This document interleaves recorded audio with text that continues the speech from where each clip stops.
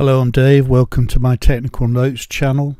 Sometimes in projects it's useful to be able to control multiple devices, so I combined a web server with UDP controls.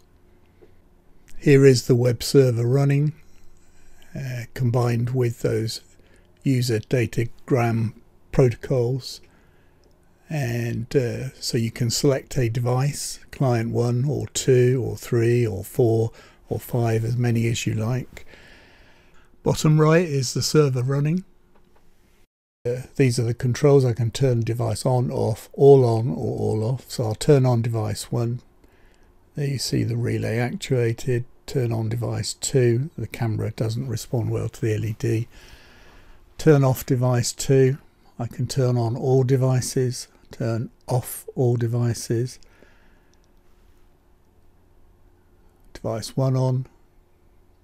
Turn them all off device 2 on, turn them all off.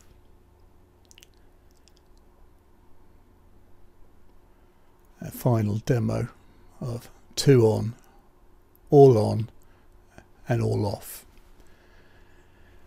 It's using the user datagram protocol, which is a broadcast protocol. It's not connected to any device. So it sends what's called a datagram in my example C client 01 high to all network connect devices. Not all devices will be listening though. So you need to the device needs to listen on port 3333, the one chosen in source code. It can be any port, but don't get a conflict with other ports already in use. So any other device on your network will receive the message and usually ignore it because it won't almost certainly will not be listening on your chosen port.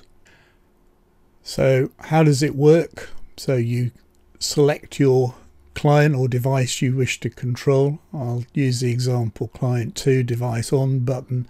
The server sends CO2H to all UDP clients or all clients that are listening on the with the UDP protocol and if the client matches the address CO2 client 02 it then reads the command which in this example is H and then actuates the LED or relay or what have you. Similarly for turning off same process select the client in this case send client 02 low CO2L and again it'll match the address CO2 client 02 it'll get the command which is L for low and then turn off the LED or relay or. So you can make up your own command structure. Mine is very very crude and simple. It's sim it's the client address and then the command. So client address CO1 command high or low and here's some examples how how I've, do, I've done that. So simple LED or relay control. Client 01 high to switch on. Digital write pin high is then matched with that reception of that command. Similarly for low. The servo control again you extract the command element of the instruction that's been received and send that to the servo or light dimmer or whatever peripheral device you may have. So in summary then, it's a conventional web server combined with the UDP protocol. Uh, it, it's been added to enable uh, quite a lot of clients, up to 253 clients can be controlled on a typical subnetwork. Controls aren't necessarily limited to on-off, but you can uh, adapt the command structure to send more complex commands. Um, doesn't have to be a complex command structure, but I've just used a simple one.